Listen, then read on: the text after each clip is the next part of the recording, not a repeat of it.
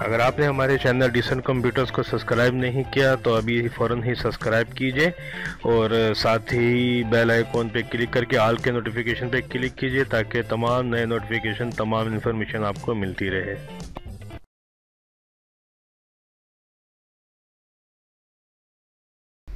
आउज़बिल्लिनशैतरजीम बसमीम अल्लाम दोस्तों, आज एक और नई और अच्छी जॉब लेकर आए हैं आपके सामने।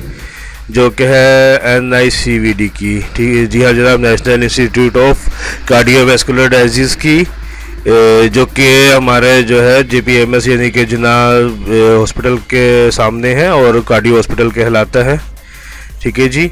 तो इसकी जॉब्स हैं, बहुत सारी जॉब्स हैं, देखिए जॉब्स की डिटेल्स हैं, बहुत सारी जॉब्स हैं, और जॉब्स भी ऐसी है कि जो है बहुत बारीक लिखा हुआ है, सही तरीके से पढ़ा भी नहीं जा रहा है, लेकिन इस वीडियो में आपको तमाम डिटेल्स में आपको दूँगा।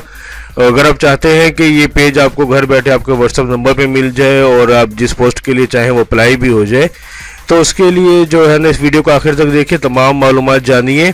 और इसके साथ साथ अगर आप खुद अप्लाई करना चाहते हैं तो ठीक है, और अगर मुझसे अप्लाई करना चाहते हैं तो ये जो नंबर आपको दिख रहे हैं स्क्रीन पर जैस कैश और इजी पैसा का तो इसमें आप मुझे जो है पचास रुपए का जैस कैश या इजी का पैसा करेंगे तो मैं आपको जो है पूरा फॉर्म इस, जो भेज दूँगा और इसमें जिस पोस्ट पे आप बोलेंगे, उस पोस्ट पे आपका जो है एप्लीकेशन फॉर्म बना के आपको दे दूँगा। ठीक है जी? तो एप्लीकेशन फॉर्म बना के आपको दे दूँगा और फिर आप इसमें सबमिट कर सकते हैं, जिस तरह के इसमें लिखा हुआ है, तरीकाकार जानने के लिए वीडियो को देख लीजिएगा।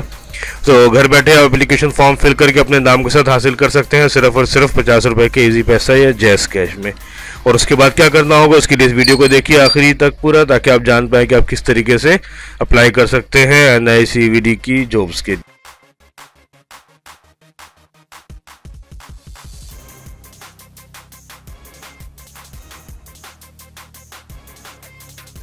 जी जनाब, हमारा सोशल मीडिया ग्रुप ज्वाइन करने का तरीकाकार आपने देखा, और अगर व्हाट्सअप ग्रुप या टेलीग्राम ग्रुप ज्वाइन करना चाहते हैं तो उसका लिंक जो है वीडियो के नीचे ही डिस्क्रिप्शन में मौजूद है।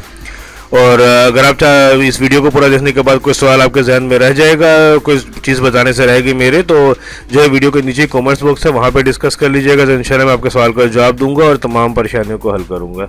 तो देखिए, सबसे पहले जो है एन की जॉब है, जो वो है सिंध गवर्नमेंट के हवाले से, अक्सर लोग पूछते हैं, मैं बता दूँ कि सिंध गवर्नमेंट है।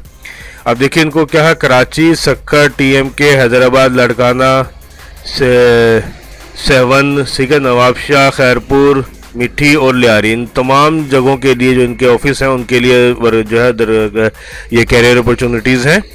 देखिए managing manager electrical services grade है सत्रह मेरिट बेस पे बैचलर ऑफ़ इंजीनियरिंग नौ से दस साल का था, आठ से दस साल का तजुर्बा। अच्छा जी, अब देखिए, इसी तरीके से मुकम्मल बहुत सारी जॉब्स हैं, कि जो मैं तमाम आपको नहीं बता सकता, क्योंकि बहुत सारी हो जाएगी बहुत लंबी वीडियो हो जाएगी। तो ये वीडियो को मैंने यहाँ रोका है। आप यहाँ से जो है पस करके पढ़ सकते हैं कि कौन कौन सी जॉब्स है, किस पोस्ट पे अप्लाई कर सकते हैं। घर बैठे ये पेज हासिल करने का तरीका मैंने आपको बताया कि सिर्फ़ पचास रुपये मैं लूँगा और तमाम डिटेल्स आपको दे दूँगा, फिर जिस पोस्ट पर आप बोलेंगे, मैं आपको अप्लीकेशन फॉर्म फिल करके आपके नंबर पर दे दूँगा। एप्लीकेशन फॉर्म का क्या करना है, वो आप इसमें वीडियो में जान लेंगे।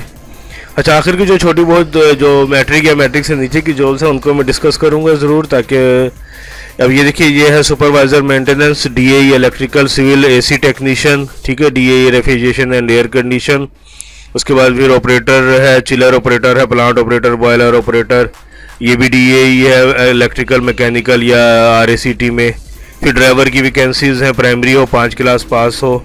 इलेक्ट्रिशियन की वैकेंसीज हैं, ठीक है? मैट्रिक हो वायरमैन का सर्टिफिकेट फिर जी पेंटर है प्लम्बर है फिलोबोटिस्ट है सीनियर सिक्योरिटी गार्ड है सिक्योरिटी गार्ड है और ट्रेनी परफ्यूज़न है ट्रेनी इलेक्ट्रिशियन है। ठीक है जी तो इसी तरीके से ट्रेनी इलेक्ट्रिशियन का तो खैर बीएससी है, लेकिन देखिए बाकी तमाम जो है, वो मैट्रिक बेस पे है, तजुर्बे के साथ है डिटेल्स आप पढ़ लीजिएगा। सिक्योरिटी गार्ड के लिए जो है रिटायर्ड फ्रॉम आर्मी ठीक है आर्मी से रिटायर होना चाहिए, तालीम तजुर्बे का इसमें रिक्वायरमेंट नहीं है कोई।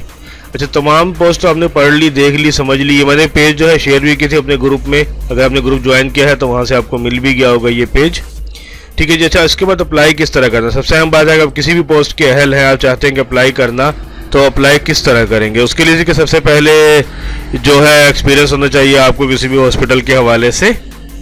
ठीक है जी, यानी कि किसी भी हॉस्पिटल में जॉब करने का एक्सपीरियंस होना चाहिए आपके पास।